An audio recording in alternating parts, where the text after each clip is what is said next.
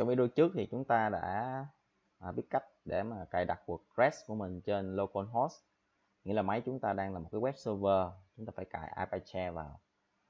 Và thực tế thì chúng ta cài nguyên một cái bộ là Apache, PHP và MySQL. À, thì chúng ta gọi là bộ WAM hay là SAM tùy theo cái hệ hành chúng ta cài. Thì à, ở đây đang sử dụng Windows 10 thì, thì tôi đang sử dụng là WAM ha. W a m P. à. rồi thì bây giờ đây là cái giao diện mà cái website WordPress mà khi mình sau khi mình đã cài đặt thành công thì lưu ý rằng là website WordPress bản chất nó là một cái website sau đó chúng ta sẽ tự cấu hình chỉnh sửa để ra một website theo ý của mình à, tưởng tượng nó giống như là một cái template nghĩa là một cái mẫu uh, bao gồm rất là nhiều thứ đầy đủ một tính năng một chức năng giao diện của website hoàn chỉnh thì từ đó chúng ta sẽ à, chỉnh sửa theo ý mình để ra được một cái website như mình mong muốn. Rồi thì à, trước tiên á là ở đây nó có một cái phần gọi là dashboard nghĩa là cái à, bảng giao diện thống kê cho mình toàn bộ những cái website của mình những hoạt động nè activity nè rồi à, những cái bình luận mới nhất rồi vân vân. Rất là nhiều thứ và những cái thông báo của PHP hay là WordPress hay là MySQL tất cả những cái thông tin. Nếu như chúng ta có kết nối internet thì uh, nó sẽ luôn luôn cập nhật với chúng ta. Và ngay trên cái website của mình cũng sẽ có nhiều cái thông tin để mà mình có thể uh, truy cập nhanh đến những cái chức năng mà chúng ta mong muốn. Rồi thì ở đây á, cái này thì nó là những cái tính năng nhanh thôi. Ờ, các bạn uh, có thể sử dụng hoặc không sử dụng tùy. Chúng ta có thể dismiss được nhưng là bỏ bỏ qua. Còn đây thì uh, chúng ta sẽ khảo sát những cái chức năng nhưng mà cách truy cập nó một cách gọi là chính thống nhất. Thì bằng cách là chúng ta để ý bên cái menu bên tay trái này nè thì nó có tất cả những cái chức năng mà WordPress hỗ trợ chúng ta để thực hiện cấu hình và chỉnh sửa website của mình để làm sao đạt được cái website mà mình mong muốn. Thì trước tiên á, là chúng ta nói về cái theme chính là cái giao diện website mà chúng ta muốn hướng tới. Thì cái giao diện này là một cái bộ à, gồm có cả bố cục và màu sắc. Phong chữ tất cả mọi thứ thì gọi là theme. Thì chúng ta sẽ vào trong cái phần experience và chúng ta chọn themes. Thì trong theme này WordPress hỗ trợ chúng ta rất là nhiều theme. À, trong đó có những cái theme ở đây thì nó là những cái theme miễn phí thôi. Nhưng mà à, chúng ta có thể mua những cái theme có phí. Dĩ nhiên cái theme có phí thì nó sẽ hỗ trợ chúng ta nhiều tính năng hơn có thể là nhiều tính năng hơn đẹp à, bắt mắt hơn chẳng hạn. Thì ở đây ờ, chúng ta có thể là sử dụng một số theme đã được ờ, download sẵn có sẵn khi mà chúng ta download cái WordPress về. Còn không á thì chúng ta sẽ kết nối internet để chúng ta có thể add new cái theme ha. Thì ở đây nó sẽ kết nối vào internet và nó có rất là nhiều cái theme cho chúng ta chúng ta có thể tìm kiếm. Thì ở cái phần hướng dẫn về cái WordPress này thì tôi sẽ cố gắng làm đơn giản nhất để mà chúng ta dễ dàng à, tiếp cận với lại WordPress à, một cách rất là simple đơn giản. Và từ đó chúng ta có thể tự sáng tạo hay là tìm kiếm là làm thêm theo ý mà chúng ta muốn. Thì dựa vào đó thì à, tôi sẽ à, dựa trên một website mẫu dựa trên một website mẫu à, để mà chúng ta có thể cố gắng làm cho nó tương đồng với là cái website đó chúng ta thấy được cái sức mạnh của WordPress nó sẽ như thế nào. Rồi thì bây giờ chúng ta sẽ sang website mẫu đó. Nó có cái domain tên là setupwordpresstheme.com thì đây cũng là một cái mẫu mà người ta làm bằng cái WordPress. Thì chúng ta thấy được là đây một cái website hoàn chỉnh rất cũng khá là bắt mắt đúng không ạ? À, chúng ta có thể đầy đủ như một cái tính năng mà một cái web blog thôi cái này chưa có làm bán hàng ha. Thì à, mục tiêu mục đích ban đầu của WordPress là làm một cái web blog cá nhân chứ không nhắm đến một cái website thương mại điện tử. Nhưng mà bản chất tới bây giờ thì chúng ta vẫn có thể làm được website thương mại điện tử thông qua việc cài đặt plugin. Thì cái đó thì chúng ta sẽ nói sau và tìm hiểu sau. Còn bây giờ chúng ta hãy cùng à, tìm hiểu về WordPress thông qua cái việc mà chúng ta làm trên demo à, trên một cái website đang có sẵn như thế này. Thì à, thực ra đây là một cái theme người ta làm cái web này nó cũng dựa trên một cái theme thôi. À, cái theme đó tên là Fairy. Thì thì bây giờ ngay tại trang của mình á WordPress của mình đây là cái phần mà chúng ta đang trong cái phần quản trị WordPress nha.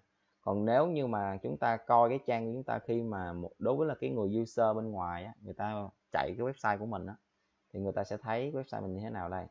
Mình sẽ ở đây nè các bạn thấy visit my website không? Đó.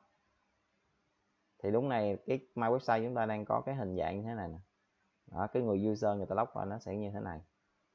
Đó. thì đây là cái mà cái mà WordPress nó đang có sẵn à, có sẵn nó cho cho chúng ta sẵn cái theme mặc định đấy thì à, rất là đơn giản như vậy thôi.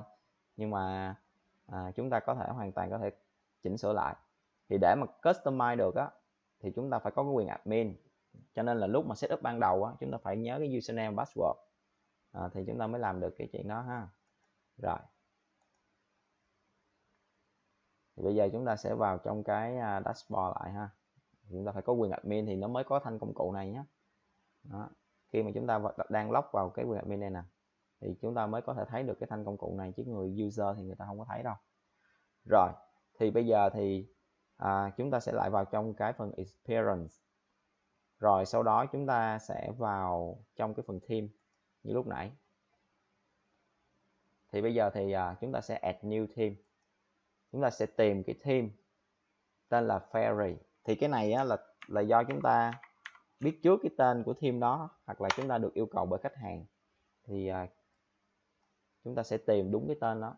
Thì cái à, cái cái tên theme nó là fairy đây thì do cái theme này nó chưa có sẵn trong máy. Ha, thì chúng ta phải cài đặt. Và chúng ta chọn install. Thì chúng ta có thể nhìn được cái review có nghĩa là cái à, cấu trúc cái giao diện à, được xem trước của website đó nó sẽ thể hiện dạng như thế này. Nhưng mà với điều kiện đây là nó đầy đủ nội dung. Thì cái việc mà ban đầu khi mà chúng ta cài đặt thì nó sẽ dường như nội dung nó không được đầy đủ như vậy. Chúng ta phải tự fill vào tự tự tự làm, tự thêm nội dung vào để cho nó nó được bắt mắt như vậy. Rồi, sau khi install thì à, cái việc install này có nghĩa là nó download cái theme đó về trong cái máy local của mình, cái web server của mình đó là chính là cái local, cái máy local host của mình đây nè. Thì à, bản thân lúc này á, mình có thể tải được nhiều theme và chúng ta muốn active cái theme nào, nghĩa là chúng chúng ta đổi cái theme á. Trong quá trình chúng ta không thích à, cái giao diện website này nữa thì chúng ta đổi qua cái theme khác vẫn giữ cái nội dung mà trước giờ chúng ta đã xây dựng thì chúng ta sẽ làm cái việc là active cái theme mà chúng ta muốn thay đổi thôi. Đấy chúng ta active lên chọn active. Rồi khi mà chúng ta active á thì bây giờ chúng ta xem lại cái website của mình tới nha. Đây list visits. Thì ở đây để cho tiện thì tôi uh, chọn new tab đi ha để cho nó dễ qua lại.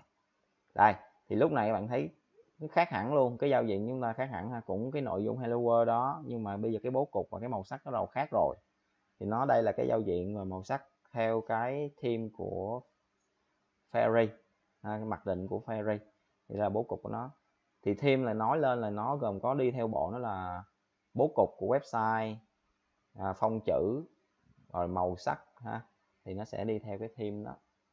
Rồi bây giờ chúng ta sẽ làm gì tiếp theo khi mà sau khi chúng ta chỉnh sửa cái thêm thì à, đối với lại khi mà chúng ta có cái thêm rồi á chúng ta nên bắt đầu sẽ chỉnh sửa cái cấu trúc toàn website của mình ha, cấu hình cho toàn website của mình cách vào trong setting.